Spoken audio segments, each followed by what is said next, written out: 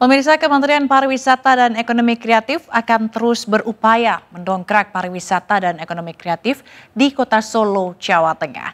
Tak hanya kaya dengan kearifan lokal, Kota Solo juga memiliki potensi wisata MICE atau Meeting Incentive Conference and Exhibition yang dapat mendongkrak kunjungan wisatawan baik lokal maupun mancanegara.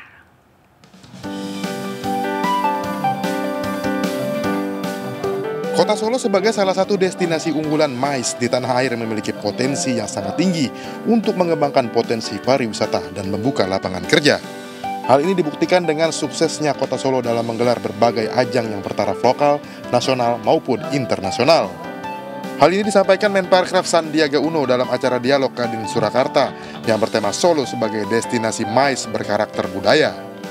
Pasca pandemi kita akan melakukan revitalisasi terutama dalam penyelenggaraan MICE, uh, penyelenggaraan kegiatan yang lebih uh, ditingkatkan untuk menjadikan uh, destinasi event internasional.